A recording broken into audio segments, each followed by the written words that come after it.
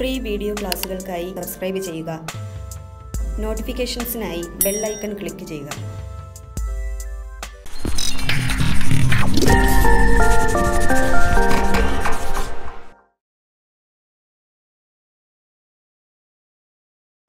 Okay ഇനി നമ്മൾ സൗണ്ടിന്റെ കുറച്ച് പ്രോപ്പർട്ടീസ് നോക്കാൻ പോവുകയാണ്. ശബ്ദത്തിന്റെ കുറച്ച് സവിശേഷതകളെ കുറിച്ച് നോക്കാൻ പോവാണ്. അപ്പോൾ ശബ്ദത്തിന്റെ ആദ്യത്തെ സവിശേഷത അറിയപ്പെടുന്ന പേര് പിച്ച് എന്നാണ്. പിച്ച് സൗണ്ടിന്റെ ആദ്യത്തെ പ്രോപ്പർട്ടി അറിയപ്പെടുന്ന പേരാണ് പിച്ച് ശ്രുതി എന്നൊക്കെ നമ്മൾ മലയാളത്തിൽ പറയാറുണ്ട്. ശ്രുതി എന്നും സ്ഥായി എന്നൊക്കെ ശ്രുതി എന്ന് പറയാറുണ്ട്. എന്താണ് പിച്ച് എന്ന് ചോദിച്ചാൽ നമ്മൾ കേൾക്കുന്ന ശബ്ദത്തിന്റെ കൂർമത അറിയപ്പെടുന്ന പേര് ഷ്രിൽനെസ് അറിയപ്പെടുന്ന പേരാണ് പിച്ച് ഈ ശബ്ദത്തിന് നമ്മുടെ ചെവിയിലേക്ക് തുളച്ചു കയറാനൊക്കെ ഒരു കഴിവുണ്ട്. അപ്പൊ നമ്മൾ കേൾക്കുന്ന ശബ്ദത്തിന്റെ കൂർമത ഷ്രിൽനെസ് അറിയപ്പെടുന്ന പേരാണ് പിച്ച് പിച്ചിന് ആരുമായിട്ടാണ് ബന്ധമുള്ളതെന്ന് ചോദിച്ചാൽ സൗണ്ടിന്റെ പിച്ചിന് ബന്ധമുള്ള വ്യക്തിയാണ് ഫ്രീക്വൻസി ഫ്രീക്വൻസിയുമായിട്ടാണ് ബന്ധമുള്ളത്. ഹൈ ഫ്രീക്വൻസി ആണെങ്കിൽ നമ്മൾ പറയും അത് ഹൈ പിച്ച് സൗണ്ട് ആന്ന് പറയും. നേരെ മറിച്ച് ലോ ഫ്രീക്വൻസി ആണെങ്കിൽ നമ്മൾ പറയും അത് ലോ പിച്ച് സൗണ്ട് ആന്ന് പറയും. അപ്പോൾ നമ്മൾ കേൾക്കുന്ന ശബ്ദത്തിന്റെ കൂർമ്മത അറിയപ്പെടുന്ന പേരാണ് പിച്ച് പിച്ചിന് ആരുമായിട്ട് ബന്ധമുണ്ടെന്ന് ചോദിച്ചാൽ പിച്ചിന് ബന്ധമുള്ള വ്യക്തിയാണ് ഫ്രീക്വൻസി. ഹൈ ഫ്രീക്വൻസി ആണെങ്കിൽ ഹൈ പിച്ച് എന്ന് പറയും ലോ ഫ്രീക്വൻസി ആണെങ്കിൽ ലോ പിച്ച് എന്നും പറയും. ഈ ഹൈ പിച്ച് ശബ്ദങ്ങളെല്ലാം ചെവിയിലേക്ക് തുളച്ചു കയറുന്ന ശബ്ദങ്ങളായിരിക്കും. ചെവിയിലേക്ക് തുളച്ചു കയറുന്ന ശബ്ദങ്ങളാ ഹൈ പിച്ച് ശബ്ദങ്ങൾ. ഉദാഹരണത്തിന് സ്ത്രീകളുടെ ശബ്ദം. സ്ത്രീകളുടെ ശബ്ദം ചെവിയിലേക്ക് തുളച്ചു കയറുന്ന ശബ്ദമാണ്. കുയിലിന്റെ ശബ്ദം. ചെവിയിലേക്ക് തുളച്ചു കയറുന്ന ശബ്ദമാണ്.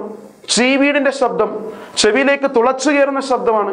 ഇതിനെല്ലാം നമ്മൾ ഹൈ ഫ്രീക്വൻസി ആയിട്ടാണ് വെച്ചേക്കുന്നത് അല്ലെങ്കിൽ ഹൈ പിച്ച് സൗണ്ട് ആയിട്ടാണ് വെച്ചേക്കുന്നത് നേരെ മറിച്ച് ലോ ഫ്രീക്വൻസി സൗണ്ട് അറിയപ്പെടുന്നത് ലോ പിച്ച് സൗണ്ട് എന്ന് വിളിക്കുന്നത് ലോ ഫ്രീക്വൻസി ആണെങ്കിൽ ലോ പിച്ച് എന്നാണ് വിളിക്കുന്നത് പുരുഷന്മാരുടെ ശബ്ദം ഡ്രംസിന്റെ ശബ്ദം അതുകൊണ്ടൊക്കെ തന്നെ പശുവിന്റെ ശബ്ദം ഇതെല്ലാം ലോ ഫ്രീക്വൻസി ഇപ്പൊ നിങ്ങൾ ഉദ്ദേശിച്ച് ചിലപ്പോൾ പുരുഷന്മാരുടെ ശബ്ദം കേൾക്കുമ്പോൾ അത് നിങ്ങൾ ഉദ്ദേശിക്കുമ്പോൾ പുരുഷന്മാരുടെ ശബ്ദമല്ലേ ഹൈ പിച്ച് എന്നൊരു തോന്നൽ നിങ്ങൾക്ക് ഉണ്ടായേക്കാം. പക്ഷെ അത് നിങ്ങൾ അവിടെ ഉദ്ദേശിക്കുന്നത് ലൗഡ്നെസ് ആണ് അത് പിച്ച് അല്ല. നിങ്ങളിപ്പോൾ ശ്രദ്ധിക്കുക നിങ്ങളിപ്പോൾ എസ് ജാനകിയുടെയും യേശുദാസിന്റെയും പാട്ട് നിങ്ങൾ കേൾക്കുന്നതായിട്ട് ആലോചിക്കുക അങ്ങനെ കേൾക്കുമ്പോൾ നമുക്ക് അറിയാം എസ് ജാനകിയുടെ പാട്ട് കേൾക്കുമ്പോഴാണ് നമുക്ക് ചെവിയിലേക്ക് തുളച്ചു കയറുന്നത് പോലെ ഒരു പ്രതീതി ഉണ്ടാവുന്നത്. ബിക്കോസ് സ്ത്രീകളുടെ ശബ്ദം എന്ന് പറയുന്നത് ഹൈ പിച്ച് ആണ്. പുരുഷന്മാരുടെ ശബ്ദം എന്ന് പറയുന്നത് ലോ പിച്ചും ലോ ഫ്രീക്വൻസി അറിയപ്പെട്ട പേര് ലോ പിച്ചും ഹൈ ഫ്രീക്വൻസി അറിയപ്പെട്ട പേരാണ് ഹൈ പിച്ച് സൗണ്ട് അപ്പൊ പിച്ചിന് ബന്ധമുള്ള വ്യക്തിയെ കുറിച്ച് നമ്മൾ പറഞ്ഞു. പിച്ചിന് ബന്ധമുള്ള വ്യക്തിയാണ് ഫ്രീക്വൻസി സൗണ്ടിന്റെ രണ്ടാമത്തെ പ്രോപ്പർട്ടി ടിംബർ അല്ലെങ്കിൽ ക്വാളിറ്റി എന്നാണ് വിളിക്കുന്നത്. ടിംബർ അല്ലെങ്കിൽ ക്വാളിറ്റി മലയാളത്തിലെ ഗുണം എന്ന് പറയാറുണ്ട്. ശബ്ദത്തിന്റെ രണ്ടാമത്തെ സവിശേഷതയാണ് ടിംബർ അല്ലെങ്കിൽ ക്വാളിറ്റി എന്താണ് ടിംബർ അല്ലെങ്കിൽ ക്വാളിറ്റി എന്താണെന്ന് ചോദിച്ചാൽ ഓരോ വ്യക്തികളുടെയും ശബ്ദത്തെ നമുക്ക് തിരിച്ചറിയാൻ സാധിക്കുന്നുണ്ട്. ഇപ്പൊ നമ്മൾ സിനിമ കണ്ടുകൊണ്ടിരിക്കുമ്പോൾ അല്ലെങ്കിൽ നമ്മൾ എന്താ പറയുക മിമിക്രി കണ്ടുകൊണ്ടിരിക്കുകയാണ്. അപ്പോ ആരെങ്കിലും വന്നൊരു നടന്റെ സ്വരം അനുകരിക്കുന്നു. ആ സൗണ്ട് കേൾക്കുമ്പോൾ ഉടനെ നമുക്ക് പറയാൻ സാധിക്കും ഇത് ഇന്ന ആളുടെ സൗണ്ടാണ് അപ്പൊ അത് നമുക്ക് ആ ശബ്ദത്തെ തിരിച്ചറിയാൻ സാധിച്ചത് കൊണ്ടാണ്. അപ്പൊ ശബ്ദത്തെ തിരിച്ചറിയാൻ സഹായിക്കുന്ന ആ സവിശേഷത അറിയപ്പെടുന്ന പേരാണ് ടിംബർ ഓർ ക്വാളിറ്റി മലയാളത്തിൽ അറിയപ്പെടുന്ന പേര് ഗുണം എന്നാണ് വിളിക്കുന്നത്. ഗുണം.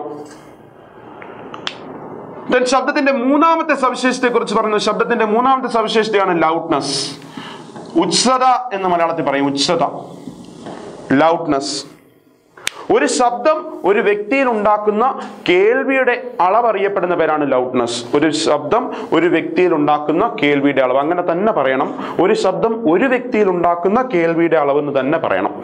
ബിക്കോസ് ഓരോ വ്യക്തികളും ഓരോ രീതിയിലായിരിക്കും സൗണ്ട് അവർ കേൾക്കുന്ന ഓരോ രീതിയിലായിരിക്കും. ചില ആളുകൾക്കാണെങ്കിൽ ചെറിയ ശബ്ദങ്ങൾ വരെ കേൾക്കാൻ സാധിക്കും. ചില ആളുകളാണെങ്കിൽ വലിയ ശബ്ദമായാലും കേൾക്കാൻ സാധിക്കത്തില്ല. അത് അവരുടെ ചെവിയുടെ ക്ഷമതയെ ഡിപ്പെൻഡ് ചെയ്യും. അപ്പോൾ ഒരു ശബ്ദം ഒരു വ്യക്തിയിൽ ഉണ്ടാക്കുന്ന കേൾവിയുടെ അളവ് അറിയപ്പെടുന്ന പേരെന്താണെന്ന് ചോദിച്ചാൽ? ലൗഡ്നെസ് ഇത് ചെവിയുടെ ക്ഷമതയെ ആശ്രയിച്ചിരിക്കും. ലൗഡ്നെസ് എന്ന് പറയുന്നത്. ലൗഡ്നെസിന്റെ യൂണിറ്റ് ചോദിച്ചിട്ടുള്ളത്. ലൗഡ്നെസിന്റെ യൂണിറ്റ് എന്താണെന്ന് ചോദിച്ചാൽ? ഡെസിബൽ ആണ് ലൗഡ്നെസിന്റെ യൂണിറ്റ് ശബ്ദത്തിന്റെ ലൗഡ്നെസിന്റെ യൂണിറ്റ് എന്താണെന്ന് ചോദിച്ചാൽ? ഡെസിബൽ ആണ് യൂണിറ്റ് നോയിസ് പൊല്യൂഷന്റെ യൂണിറ്റും ഡെസിബലിൽ പറയാറുണ്ട്. ഏതാണ്ട് നൂറ്റി ഇരുപത് ഡെസീബലിൽ കൂടുതലുള്ള ശബ്ദം മനുഷ്യന്റെ ചെവിക്ക് വേദന ഉളവാക്കും നൂറ്റി ഇരുപത് ഡെസീബലിൽ കൂടുതൽ ലൗഡ്നെസ് ഉള്ള ശബ്ദം മനുഷ്യന്റെ ചെവിക്ക് വേദന ഉളവാക്കും ഇവരെ അറിയപ്പെടുന്ന പേര് ഇവരെ നമ്മൾ നോയിസ് പൊല്യൂഷൻ എന്ന് പറയുന്ന കാറ്റഗറിയിൽ പെടുത്തിയേക്കുക ഇപ്പൊ വിമാനം പറന്നുയരുമ്പോഴുണ്ടാകുന്ന ശബ്ദം നൂറ്റി ഇരുപത് ഡെസീബലാണ്. റോക്കറ്റ് പറന്നുയരുമ്പോഴുണ്ടാകുന്ന ശബ്ദം നൂറ്റി എഴുപത് ഡെസീബലാണ്. മനുഷ്യന്റെ ചെവിക്ക് വേദന ഉളവാക്കുന്ന ശബ്ദങ്ങളാണ് അറിയപ്പെടുന്ന പേരാണ് നോയിസ് പൊല്യൂഷൻ നോയിസ് പൊല്യൂഷന്റെ യൂണിറ്റ് നമ്മൾ ഡെസീബലിൽ പറയാറുണ്ട്. ഇനി പാർട്സ് പെർ പൊല്യൂഷന്റെ യൂണിറ്റ് എന്താണെന്ന് വെച്ചാൽ പാർട്സ് പെർ മില്യണിലും പറയാറുണ്ട്. പൊല്യൂഷന്റെ യൂണിറ്റ് ആയിട്ട്. അപ്പോൾ ശബ്ദത്തിന് മൂന്ന് സവിശേഷത ഉണ്ടെന്നാ പറഞ്ഞത്. ഏതൊക്കെയാണെന്ന് ചോദിച്ചാൽ ആദ്യത്തെ ആൾ പിച്ച് രണ്ടാമത്തെ ആൾ ടിംബർ ഓർ ക്വാളിറ്റി മൂന്നാമത്തെ ആൾ അറിയപ്പെടുന്ന പേരാണ് ലൗഡ്നെസ് പിച്ചിന് ആരുമായിട്ടാ ബന്ധമുള്ളതെന്ന് ചോദിച്ചാൽ ഫ്രീക്വൻസിയുമായിട്ടാണ് ബന്ധമുള്ളത്. ഹൈ ഫ്രീക്വൻസിയെ ഹൈ പിച്ച് എന്നും ലോ ഫ്രീക്വൻസിയെ ലോ പിച്ച് എന്നും പറഞ്ഞു. ലോ പിച്ച് ശബ്ദങ്ങളെല്ലാം സോറി ഹൈ പിച്ച് ശബ്ദങ്ങളെല്ലാം ചെവിയിലേക്ക് തുളച്ചു കയറുന്നതും ലോ പിച്ച് ശബ്ദങ്ങൾ ചെവിയിലേക്ക് തുളച്ചു കയറാത്തതും എന്നും പറഞ്ഞു. രണ്ടാമത്തെ രണ്ടാമത്തെ സൗണ്ടിന്റെ പ്രോപ്പർട്ടി അറിയപ്പെടുന്ന പേര് ടിംബർ ഓരോ വ്യക്തികളുടെയും ശബ്ദത്തെ നമുക്ക് തിരിച്ചറിയാൻ സാധിക്കുന്നു. ഇപ്പോൾ ഒരു ജനക്കൂട്ടത്തിന് നടുവിൽ നിന്നുകൊണ്ട് നിങ്ങളുടെ അമ്മ അല്ലെങ്കിൽ നിങ്ങളുടെ അച്ഛൻ നിങ്ങളുടെ പേര് വിളിക്കുകയാണെങ്കിൽ ഉറപ്പായിട്ട് നിങ്ങൾക്ക് മനസ്സിലാവും അത് വിളിച്ചത് എന്റെ അച്ഛനാണ് അല്ലെങ്കിൽ എന്റെ അമ്മയാണ് എന്ന് മനസ്സിലാവും. ബിക്കോസ് ഓരോ വ്യക്തികളുടെയും ശബ്ദത്തെ നമുക്ക് തിരിച്ചറിയാൻ സാധിക്കുന്നുണ്ട്. അപ്പോൾ ആ ശബ്ദത്തെ തിരിച്ചറിയാൻ സഹായിക്കുന്ന സവിശേഷത അറിയപ്പെടുന്ന പേരാണ് ടിംബർ ഓർ ക്വാളിറ്റി ഗുണം എന്നാണ് പറയുന്നത്. ഇനി ഒരു ശബ്ദം ഒരു വ്യക്തിയിൽ ഉണ്ടാക്കുന്ന കേൾവിയുടെ അളവ് അറിയപ്പെടുന്ന പേരാണ് ലൗഡ്നസ് ലൗഡ്നസിന്റെ യൂണിറ്റ് ഒന്ന് ഓർത്ത് വെച്ചോളുക. ലൗഡ്നസിന്റെ യൂണിറ്റ് എന്ന് പറയുന്നത് ഡെസിബിൾ ആണ്. ഓക്കെ നമുക്ക് അടുത്ത കുറച്ച് ലൗഡ്നസ് ടേബിൾ ആണ്. ചില ഏരിയകളിൽ അനുവദിച്ചിട്ടുള്ള പകൽ സമയത്തും രാത്രി സമയത്തും എത്ര എത്ര ഡെസിബൽ വരെ ആകാം എന്നുള്ള ഒരു ടേബിളാണ് നമ്മൾ നോക്കാൻ പോകുന്നത്. സി ഹോസ്പിറ്റൽ പരിധിയിലാണെങ്കിൽ പകൽ സമയത്ത് നാൽപ്പത് ഡെസിബൽ വരെ ആവാം. രാത്രി അങ്ങനെ പ്രത്യേകിച്ചൊന്നും പറയുന്നില്ല. രാത്രി സമയങ്ങളിൽ കഴിവതും സൗണ്ടൊക്കെ ഒഴിവാക്കുക. ഹോസ്പിറ്റൽ പരിസരങ്ങളാണ്. അപ്പോൾ ഒരുപാട് രോഗികളൊക്കെ കിടന്നുറങ്ങുന്ന സമയമായിരിക്കും. അപ്പോൾ കഴിവതും നിങ്ങൾ സൗണ്ടൊക്കെ ഒഴിവാക്കുക. നാൽപ്പത് ഡെസിബലിൽ കുറയാൻ പാടില്ല. സോറി നാൽപ്പത് ഡെസിബലിൽ കൂടാൻ പാടില്ല. അത്രയാണ്. അത്ര ഓർത്ത് വെച്ചിരുന്നാൽ മതി. ഇനി സൈലന്റ് സോൺ നിശബ്ദ മേഖല. ഈ സൈലന്റ് സോണിൽ ഡേ ടൈമിൽ പകൽ സമയങ്ങളിൽ അൻപത് ഡെസിബൽ വരെ ആകാം. രാത്രിയാണെങ്കിൽ നാൽപ്പത് ഡെസിബൽ. റെസിഡൻഷ്യൽ ഏരിയ പാർപ്പിട മേഖലയാണ്. പകൽ സമയങ്ങളിൽ അൻപത്തിയഞ്ച് ഡെസിബൽ രാത്രി സമയങ്ങളിൽ നാൽപ്പത്തിയഞ്ച് ഡെസിബൽ വരെ ആകാം. കൊമേഴ്ഷ്യൽ ഏരിയ കൊമേഴ്ഷ്യൽ ഏരിയയിൽ പകൽ സമയത്ത് അറുപത്തിയഞ്ച് ഡെസിബിൾ രാത്രി സമയത്ത് അൻപത്തിയഞ്ച് ഡെസിബിൾ ഇൻഡസ്ട്രിയൽ ഏരിയ വ്യവസായ മേഖലകൾ നോക്കുമ്പോൾ പകൽ സമയത്ത് എഴുപത്തിയഞ്ച് ഡെസിബിൾ രാത്രി സമയങ്ങളിൽ എഴുപത് എഴുപത് ഡെസിബിൾ പകൽ സമയത്ത് എഴുപത്തിയഞ്ച് ഡെസിബിൾ രാത്രി എഴുപത് ഡെസിബിൾ നമ്മൾ പറയാൻ പോകുന്നത് ശ്രവണ സ്ഥിരത എന്ന് പറയുന്ന ഒരാളെ കുറിച്ചാണ് പേഴ്സിസ്റ്റൻസ് ഓഫ് ഓഡിബിലിറ്റി എന്ന് പറയും. നമ്മൾ കേട്ടുകൊണ്ടിരിക്കുന്ന ഒരു ശബ്ദം നിങ്ങൾ കേൾക്കുന്ന ഏത് ശബ്ദവുമായിക്കോട്ടെ. നിങ്ങൾ കേൾക്കുന്ന ശബ്ദം ഏതാണ്ട് പത്തിലൊന്ന് സെക്കൻഡ് സമയത്തേക്ക് നിങ്ങളുടെ ചെവിയിൽ തന്നെ തങ്ങി നിൽക്കും. നിങ്ങൾ കേൾക്കുന്ന ശബ്ദം ഏതാണ്ട് പത്തിലൊന്ന് സെക്കൻഡ് സമയത്തേക്ക് നിങ്ങളുടെ ചെവിയിൽ തന്നെ തങ്ങി നിൽക്കുന്നു. ഇത് അറിയപ്പെടുന്ന പേരാണ് പേഴ്സിസ്റ്റൻസ് ഓഫ് ഹിയറിംഗ് അല്ലെങ്കിൽ പേഴ്സിസ്റ്റൻസ് ഓഫ് ഓഡിബിലിറ്റി എന്ന് പറയുന്നു. മലയാളത്തിലെ ശ്രവണ സ്ഥിരത എന്നാണ് പറയുന്നത്. ശ്രവണ സ്ഥിരത. നിങ്ങൾ കേൾക്കുന്ന ശബ്ദം പത്തിലൊന്ന് സെക്കൻഡ് സമയത്തേക്ക് ചെവിയിൽ തന്നെ തങ്ങി നിൽക്കുന്നു. വാല്യൂ മാറിപ്പോവാൻ സാധ്യതയുണ്ട് ബിക്കോസ് നിങ്ങൾ കാണുന്ന ഒരു കാഴ്ച പതിനാറിലൊന്ന് സെക്കൻഡ് സമയത്തേക്ക് നിങ്ങളുടെ കണ്ണിൽ തന്നെ കാണും. കണ്ണിൽ തന്നെ തങ്ങി നിൽക്കുന്നു. ഇതറിയപ്പെടുന്ന പേര് പാസിസ്റ്റൻസ് ഓഫ് വിഷൻ എന്നാണ്. വീക്ഷണ സ്ഥിരത എന്നാണ് അറിയപ്പെടുന്നത്. ഇപ്പോൾ രണ്ടിന്റെ വാല്യൂ മാറിപ്പോരുത് ശ്രവണ സ്ഥിരത പേഴ്സിസ്റ്റൻസ് ഓഫ് ഹിയറിംഗ് എത്രയാണെന്ന് ചോദിച്ചാൽ പത്തിലൊന്ന് സെക്കൻഡ് പേഴ്സിസ്റ്റൻസ് ഓഫ് വിഷൻ ഒരു പൂവ് നിങ്ങൾ നോക്കിക്കൊണ്ടിരിക്കുന്നു. നിങ്ങൾ പെട്ടെന്ന് ആ പൂവിനെ നിങ്ങളുടെ കണ്ണിന്റെ മുന്നിൽ നിന്ന് മാറ്റിയാലും ആ പൂവ് അവിടെ ഉള്ളതായിട്ട് നിങ്ങൾക്ക് തോന്നാറുണ്ട്. അത് പേഴ്സിസ്റ്റൻസ് ഓഫ് വിഷൻ ആണ്. നിങ്ങൾ കാണുന്ന സിനിമ പേഴ്സിസ്റ്റൻസ് ഓഫ് വിഷന്റെ ആപ്ലിക്കേഷൻ ആണ്. ഒരു സെക്കൻഡിൽ ഏതാണ്ട് ഇരുപത്തിനാലോളം ഫിലിംസ് ആണ് ഫ്രെയിംസ് ആണ് നിങ്ങളുടെ മുന്നിലൂടെ കടന്നു പോകുന്നത്. ഇരുപത്തിനാലോ അതിൽ കൂടുതലോ ഫ്രെയിംസ് നിങ്ങളുടെ കണ്ണിന് മുന്നിലൂടെ കടന്നു പോകും. അതുകൊണ്ട് നിങ്ങൾക്ക് ഫീൽ ചെയ്യും നിങ്ങൾക്ക് തോന്നൽ ഒരു തോന്നൽ ഉണ്ടാവുക ചെയ്യുന്നത് അത് ചലിക്കുന്നതായിട്ട് ഒരു തോന്നൽ ഉണ്ടാവുക ചെയ്യുന്നത് സോ അതിന് കാരണമായ ആൾ അറിയപ്പെടുന്ന പേര് പേഴ്സിസ്റ്റൻസ് ഓഫ് വിഷൻ വീക്ഷണ സ്ഥിരത. എത്ര സെക്കൻഡ് ആണെന്ന് ചോദിച്ചാൽ പതിനാറിലൊന്ന് സെക്കൻഡ് ശ്രവണ സ്ഥിരത എത്ര സെക്കൻഡ് ആണെന്ന് ചോദിച്ചാൽ പത്തിലൊന്ന് സെക്കൻഡ് നിങ്ങൾ കേൾക്കുന്ന ശബ്ദം പത്തിലൊന്ന് സെക്കൻഡ് സമയത്തേക്ക് ചെവിയിൽ തന്നെ തങ്ങി നിൽക്കുന്നു. അറിയപ്പെടുന്ന പേരാണ് ശ്രവണ സ്ഥിരത. ഇനി ഇതുമായിട്ട് ബന്ധപ്പെട്ട ഒരാളെ കുറിച്ച് പറയാൻ പോകുന്നു. എക്കോ എക്കോ പ്രതിധ്വനി എന്നാണ് നമ്മൾ മലയാളത്തിൽ പറയുന്നത്. എക്കോ പ്രതിധ്വനി എന്ന് പറയാറുണ്ട്. എന്താണ് എക്കോ എന്ന് ചോദിച്ചാൽ നിങ്ങൾ ഒരു ശബ്ദം നിങ്ങളൊരു ശബ്ദം പുറപ്പെടുവിച്ചു. ആ പുറപ്പെടുന്ന സമയത്ത് ആ ശബ്ദം ഉണ്ടായ സമയത്ത് നിങ്ങൾക്ക് അത് കേൾക്കാൻ സാധിക്കും. അല്പസമയം കഴിഞ്ഞ് അതേ ശബ്ദം നിങ്ങൾ വീണ്ടും കേൾക്കുന്നു. ഈ പ്രതിഭാസം അറിയപ്പെടുന്ന പേരാണ് എക്കോ പ്രതിധ്വനി. നിങ്ങൾ കേട്ട ശബ്ദം തന്നെ അല്പസമയം കഴിഞ്ഞ് നിങ്ങൾ വീണ്ടും കേൾക്കുമ്പോൾ അറിയപ്പെടുന്ന പേരാണ് എക്കോ പ്രതിധ്വനി. ഇപ്പോ നമ്മൾ ആദ്യം പറയാൻ വിട്ടുപോയതാണ്.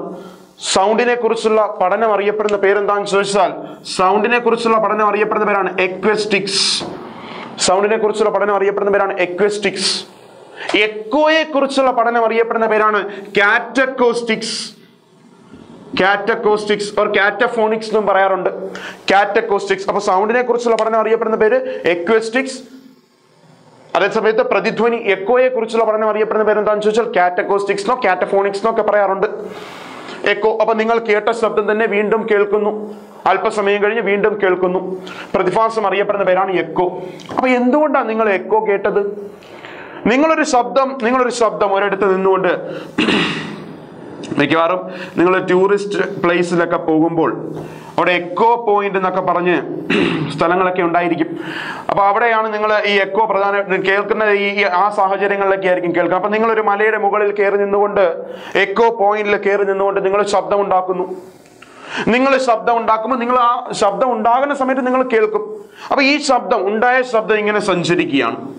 ഈ ഉണ്ടായ ശബ്ദം ഇങ്ങനെ സഞ്ചരിച്ച് പോയപ്പോൾ വഴിയിൽ എന്തെങ്കിലുമൊക്കെ തടസ്സങ്ങളുണ്ടെന്ന് വിചാരിക്കാം. മരങ്ങളോ അല്ലെങ്കിൽ മറ്റൊരു മലയോ എന്തെങ്കിലുമൊക്കെ ഉണ്ടെന്ന് വിചാരിക്കാം. ഈ തടസ്സത്തിൽ പോയി തട്ടുന്ന ഈ ശബ്ദം തിരിച്ചു വരുന്നു. തടസ്സത്തിൽ പോയി തട്ടിയിട്ട് ശബ്ദം തിരിച്ചു വരുന്നു. ഇതാണ് നിങ്ങൾ എക്കോ ആയിട്ട് കേൾക്കുന്നത്. അപ്പോൾ എന്തുകൊണ്ടാണ് സൗണ്ട് നിങ്ങൾ എക്കോ കേൾക്കുന്നതെന്ന് ചോദിച്ചാൽ സൗണ്ട് റിഫ്ലക്ട് ചെയ്ത് വരുന്നു. ഏതോ തടസ്സത്തിൽ പോയി തട്ടി ശബ്ദം തിരിച്ചു വരുന്നു. അങ്ങനെ തിരിച്ചു വരുന്ന ശബ്ദമാണ് നിങ്ങൾ എക്കോ ആയി കേൾക്കുന്നത്. അപ്പോൾ സ്വാഭാവികമായിട്ട് നമുക്കൊരു സംശയം ഉണ്ടാകാം. നമുക്ക് ചുറ്റുമുള്ള ഈ നാല് ചുവരുകൾ. ഈ നാല് ചുവരുകൾ സൗണ്ടിന്റെ തടസ്സമല്ലേ? അപ്പൊ എന്തുകൊണ്ട് നമ്മൾ എക്കോ കേൾക്കുന്നില്ല എന്നൊരു സംശയം ഉണ്ടായേക്കാം. അപ്പൊ അതിന് വ്യക്തമായ ഒരു ഉത്തരവുണ്ട്. അതാണ് ഞാൻ ആദ്യം പറഞ്ഞത് തയ്യാളെ കുറിച്ചാണ് ഇവിടെ പറയാൻ പോകുന്നതെന്ന്. വീക്ഷ സോറി ശ്രവണ സ്ഥിരത. എന്താ കാര്യം ചോദിച്ചാൽ ഒരു തടസ്സമുണ്ടെങ്കിൽ തടസ്സത്തിൽ പോയി തട്ടി ശബ്ദം തിരിച്ചു വരുന്നു എന്ന് പറഞ്ഞു. ഇനി ആ തടസ്സം കുറഞ്ഞത് പതിനേഴ് മീറ്റർ അകലത്തിലായിരിക്കണം. അപ്പൊ ഒരു തടസ്സം ഉണ്ടായാൽ മാത്രം പോരാ. തടസ്സം കുറഞ്ഞത് ഏറ്റവും കുറഞ്ഞത് പതിനേഴ് മീറ്റർ അകലത്തിലായിരിക്കണം. അങ്ങനെ പതിനേഴ് നിങ്ങളിൽ നിന്നും പതിനേഴ് മീറ്റർ അകലത്തിൽ ഒരു തടസ്സമുണ്ട്. ആ തടസ്സത്തിൽ പോയി തട്ടി ശബ്ദം തിരിച്ചു വരുന്നു. ആ ശബ്ദമാണ് നിങ്ങൾ എന്തായി കേൾക്കുന്നത്? എക്കോ ആയിട്ട് കേൾക്കുന്നത്. ഈ പതിനേഴ് എന്ന് പറയുന്ന വാല്യൂ വന്നത് ഇങ്ങനെ. നിങ്ങൾ മാത്സിൽ അല്ലെങ്കിൽ ഫിസിക്സിൽ തന്നെ നമുക്ക് പറയാം. ഇങ്ങനെ ഒരു ഇക്വേഷൻ പഠിച്ചിട്ടുണ്ട്. Distance is equal to speed into speed into നിങ്ങൾ പഠിച്ചിട്ടുള്ള ഇക്വേഷനാണ് ശബ്ദത്തിന്റെ വായുവിലൂടെയുള്ള വേഗത എത്രയാണെന്ന് ചോദിച്ചപ്പോൾ ഇവിടെ വായുവിന്റെ കാര്യമാണ് പറയുന്നത്. ഇവിടെ മൊത്തം വായുവാണ് നിറഞ്ഞിരിക്കുന്നത്. മലയുടെ മുകളിൽ കയറി നിൽക്കുന്നു. വായുവാണ് അവിടെ ഉള്ളത്. ശബ്ദത്തിന്റെ വായുവിലൂടെയുള്ള വേഗത എത്രയാണെന്ന് ചോദിച്ചാൽ മുന്നൂറ്റി നാൽപ്പത് മീറ്റർ പെർ സെക്കൻഡ് ഇൻ നിങ്ങൾ കേട്ട ശബ്ദം പത്തിലൊന്ന് സെക്കൻഡ് സമയത്തേക്ക് നിങ്ങളുടെ ചെവിയിൽ തന്നെ കാണും. അപ്പൊ അത് കഴിഞ്ഞു വരുന്നതിനെ മാത്രമേ എക്കോ ആയിട്ട് കേൾക്കാൻ സാധിക്കത്തുള്ളൂ. അല്ലെങ്കിൽ ശബ്ദത്തിന് മുഴക്കമായിരിക്കും നിങ്ങൾ കേൾക്കുന്നത്. അപ്പോൾ മുന്നൂറ്റി നാൽപ്പത് മീറ്റർ പെർ സെക്കൻഡ് വേഗതയിൽ സഞ്ചരിച്ചു. ആ നിങ്ങൾ നിങ്ങൾ കേട്ട ശബ്ദം പത്തിലൊന്ന് സെക്കൻഡ് സമയത്തേക്ക് കുറഞ്ഞത് ചെവിയിൽ തന്നെ കാണുമെന്ന് പറഞ്ഞു. സോ കുറഞ്ഞ സമയം പത്തിലൊന്ന്. ഈ പൂജ്യവും പൂജ്യവും വെട്ടിപ്പോയി. ഡിസ്റ്റൻസ് എത്രയാണെന്ന് ചോദിച്ചാൽ മുപ്പത്തി നാല് മീറ്റർ അവിടെയും പ്രശ്നം. മുപ്പത്തിനാല് മീറ്റർ അപ്പൊ നിങ്ങൾ ശ്രദ്ധിക്കുക മുപ്പത്തിനാല് മീറ്റർ എന്ന് പറയുന്നത് റൗണ്ട് ട്രിപ്പ് ആണ്. പോയി തിരിച്ചു വരുന്ന ഡിസ്റ്റൻസ് ആണ്. ഇവിടുന്ന് അങ്ങോട്ട് പോകുന്നു തിരിച്ചു വരുന്നു. മൊത്തം കൂടെ പറഞ്ഞാൽ മുപ്പത്തിനാല്. അപ്പൊ തടസ്സം വരെ എത്ര ഉണ്ടെന്ന് ചോദിച്ചാൽ പതിനേഴ് അതിന്റെ പകുതി. പതിനേഴ് മാത്രമാണ്. അപ്പൊ നോക്കുക പതിനേഴ് മീറ്റർ അകലം പതിനേഴ് മീറ്റർ അകലത്തിലുള്ള ഒരു തടസ്സത്തിൽ പോയി തട്ടി ശബ്ദം തിരിച്ചു വന്നാൽ നിങ്ങൾക്ക് അത് എന്തായിട്ട് കേൾക്കാൻ സാധിക്കും? എക്കോ ആയിട്ട് കേൾക്കാൻ സാധിക്കും. അപ്പൊ നിങ്ങൾ കേട്ട ശബ്ദം തന്നെ അല്പസമയം കഴിഞ്ഞ് വീണ്ടും കേൾക്കുമ്പോൾ ആ പ്രതിഭാസം അറിയപ്പെടുന്ന പേരാണ് എക്കോ. ഇനി ഈ സൗണ്ടിന്റെ മൾട്ടിപ്പിൾ റിഫ്ലക്ഷൻ ആവർത്തന പ്രതിപതനം. ഈ മൾട്ടിപ്പിൾ റിഫ്ലക്ഷൻ പ്രയോജനപ്പെടുത്തുന്ന ചില ഉപകരണങ്ങളാണ് ഇനി നമ്മൾ പരിചയപ്പെടാൻ പോകുന്നത്. സൗണ്ടിന്റെ മൾട്ടിപ്പിൾ റിഫ്ലക്ഷൻ പ്രയോജനപ്പെടുത്തുന്ന ഉപകരണങ്ങൾ. മൾട്ടിപ്പിൾ റിഫ്ലക്ഷൻ ആവർത്തന പ്രതിപതനം ഈ ആവർത്തന പ്രതിപതന ഫലമായി ശബ്ദം നിങ്ങൾ മുഴങ്ങി അല്ലെങ്കിൽ വലുതായി കേൾക്കുന്നു. നിങ്ങൾ മുഴങ്ങി കേൾക്കുന്നു. ആവർത്തന പ്രതിപതന ഫലമായി മൾട്ടിപ്പിൾ റിഫ്ലക്ഷന്റെ ഫലമായി. ഉദാഹരണത്തിന് ഒരു സ്റ്റെറസ്കോപ്പ് ആ സ്റ്റെറസ്കോപ്പ് നമുക്കറിയാം നമ്മുടെ ഹാർട്ട് ബീറ്റ് അറിയാനായിട്ട് നമ്മൾ യൂസ് ചെയ്യുന്ന ഹൃദയമിടിപ്പ് അറിയാനായിട്ട് നമ്മൾ യൂസ് ചെയ്യുന്ന ഡിവൈസ് ആണ് സ്റ്റെറസ്കോപ്പ് ആ സ്റ്റെറസ്കോപ്പിന് ഒരു കുഴലൊക്കെ ഉണ്ട് നമുക്കറിയാം ഒരു കുഴലാണ്. ഒരു എന്റെ ഡോക്ടറുടെ ചെവിയിൽ ഇരിക്കുകയാണ്. പിന്നെ ഒരു ഡയഫ്രം ഉണ്ട് ആ ഡയഫ്രം ആണ് നമ്മുടെ നെഞ്ചിലെടുത്ത് വെക്കുന്നത്. അപ്പൊ ഈ ഡയഫ്രം നമ്മുടെ നെഞ്ചിൽ വെക്കുന്ന സമയത്ത് ഡയഫ്രം വൈബ്രേറ്റ് ചെയ്യും. ഞാൻ ആദ്യമേ പറഞ്ഞു ഒബ്ജക്റ്റ് വൈബ്രേറ്റ് ചെയ്താൽ ശബ്ദമുണ്ടാകും. സോ ഡയഫ്രം വൈബ്രേറ്റ് ചെയ്തു. ആ ഡയഫ്രം വൈബ്രേറ്റ് ചെയ്തപ്പോൾ ഉണ്ടായ ശബ്ദം ഒരു ട്യൂബിലൂടെ സഞ്ചരിച്ചാണ്. ഡയഫ്രം വൈബ്രേറ്റ് ചെയ്തപ്പോൾ ഉണ്ടായ ശബ്ദം ഒരു ട്യൂബിലൂടെയാണ് സഞ്ചരിച്ചു വരുന്നത്. ആ ട്യൂബിലൂടെ സഞ്ചരിക്കുന്ന ഈ ശബ്ദം ആവർത്തിച്ച് ആവർത്തിച്ച് റിഫ്ലക്ട് ചെയ്യും. വീണ്ടും വീണ്ടും റിഫ്ലക്ട് ചെയ്യും. മൾട്ടിപ്പിൾ റിഫ്ലക്ഷന് വിധേയമാകും. അതിന്റെ ഫലമായിട്ട് നിങ്ങൾ ശബ്ദം മുഴങ്ങി കേൾക്കും അല്ലെങ്കിൽ ശബ്ദം വലുതായി കേൾക്കും. മൾട്ടിപ്പിൾ റിഫ്ലക്ഷനാണ് അവിടെ പ്രയോജനപ്പെടുത്തുന്നത്. ഫ്ലൂട്ട് ഫ്ലൂട്ടിനകത്തും മൾട്ടിപ്പിൾ റിഫ്ലക്ഷനാണ് പ്രയോജനപ്പെടുത്തുന്നത്. മെഗാഫോൺ പോലീസുകാരുടെ കയ്യിലൊക്കെ ഇരിക്കുന്ന മെഗാഫോൺ ജനക്കൂട്ടം പിരിഞ്ഞു പോകേണ്ടതാണ് എന്നൊക്കെ അനൗൺസ് ചെയ്യുന്ന മെഗാഫോൺ ആ മെഗാഫോണിനും പ്രയോജനപ്പെടുത്തുന്നത് മൾട്ടിപ്പിൾ റിഫ്ലക്ഷൻ തന്നെ. അപ്പോ സ്റ്റെഡസ്കോപ്പ് അതുപോലെ തന്നെ മെഗാഫോണ് ഫ്ലൂട്ട് എയർ ഹോൺ പണ്ടൊക്കെ ഇങ്ങനെ ഒരു ഹോൺ നമുക്ക് കാണാൻ സാധിക്കുമായിരുന്നു. ഇത്തരത്തിലൊരു ഹോൺ ഓട്ടോയുടെ സൈഡിലിരിക്കും. അപ്പൊ ഇതിനകത്തും ഈ ഉണ്ടാകുന്ന ശബ്ദം നമ്മളിവിടെ പ്രസ് ചെയ്യുന്ന സമയത്ത് ഒരു ശബ്ദം ഉണ്ടാകും ആ ശബ്ദം ഈ ട്യൂബിലൂടെ സഞ്ചരിച്ച് വരുമ്പോൾ ഒരുപാട് തവണ റിഫ്ലക്ഷൻ നടന്നിട്ടാണ് ആ ശബ്ദം നമ്മുടെ ചെവിയിലേക്ക് കടന്നു വരുന്നത്. അങ്ങനെ മൾട്ടിപ്പിൾ റിഫ്ലക്ഷൻ നടക്കുന്നു. ആവർത്തന പ്രതിപതനം നടക്കുന്നു. ആവർത്തന പ്രതിപതനത്തിന്റെ ഫലമായി ശബ്ദം നിങ്ങൾ മുഴങ്ങി കേൾക്കുന്നു അല്ലെങ്കിൽ വലുതായി കേൾക്കുന്നു. സോ ഇവിടെ എല്ലാം പ്രയോജനപ്പെടുത്തുന്നത് സൗണ്ടിന്റെ മൾട്ടിപ്പിൾ റിഫ്ലക്ഷൻ ആണ്.